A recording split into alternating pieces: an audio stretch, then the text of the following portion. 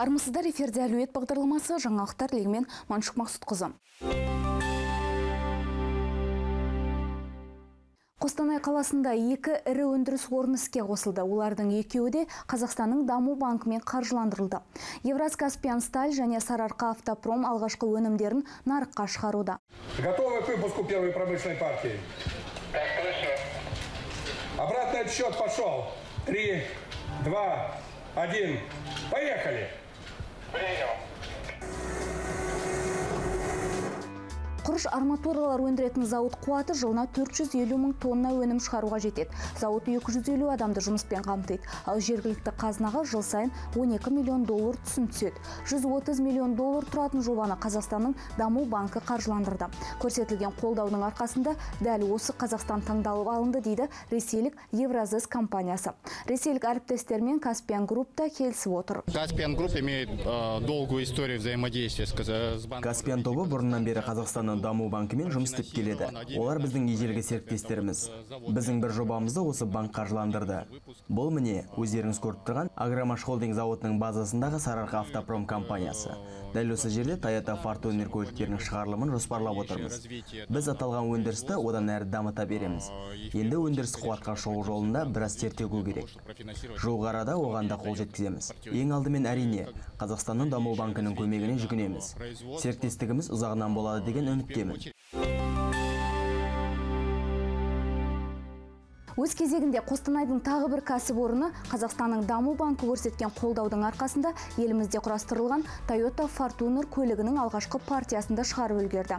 Күн сайын Сарыарқа автопром желілерінде 12 көлік құрастырылады деп жоспарланып отыр. Соның арқасында өндіріс көлемі жылына 3000 машина құрастыруға дейін артады деп көзделген. Toyota Motor Казахстан официально объявил об открытии завода на прошлой неделе. Toyota Motors Қазақстан компаниясы өткен аптада зауыттың ашылатын туралы айтқан болатын.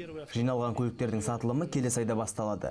Тиісінше, құрылған алғашқы көліктер дилерлік желілерге көлік салондарына жол тартуда. Сол жерде алғашқы сатылымдар жүзеге асырылады деп жоспарланған. Барлығы біз жоспарлағандай өз уақытында жүзеге асып жатыр. Айта кетейік, биыл ел үкіметі бизнеске қолдау көрсету шараларының аясын кеңейтуде. Елбасы Нұрсұлтан Назарбаев ұлттық қордан ел экономикасының дамуына серпін беру үшін 1 триллион теңге бөлуді тапсырды. Олардың 500 миллиард мемлекет қазынасынан бөлінді. Айта кетейік, бұл қаржы үш бағыт бойынша жұмсалады. 250 миллиард теңге банк секторын оңалтуға жұмсалса, 150 миллиард теңге индустриалды инновациялық даму бағдарламасын қаржыландыруға кетеді. Ал 100 миллиард теңге даму қорының желісі бойынша орта және шағын бизнесті несиелеуге бағытталады.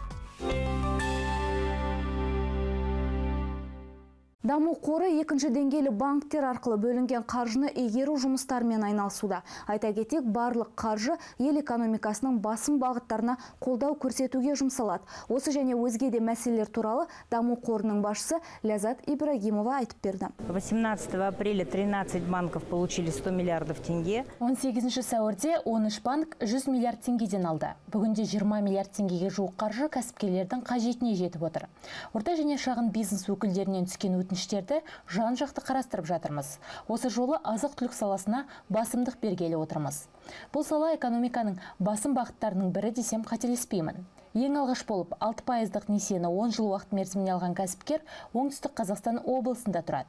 Бұл түсінікті де, еліміздің оңтүстік аймағында жылы ерте түседі. Жері шұрайлы, күн көзде көп. Ауыл шаруашылығы, оның ішінде егін егу жақсы жолға қойылған. Ал несие алған компания дәл осы көкөніс және жеміс жидек өңдеумен айналысады.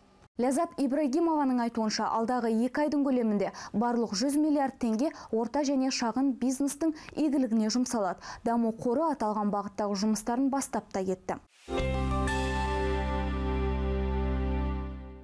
Әлеует бағдарламасының әзірге айтары осы. Біздің бағдарламамыздың электронды нұсқасын 24 KZ сайтынан және барлық әлеуметтік желілерден оқи аласыздар. Келесі кездескенше аман сау болыңыздар.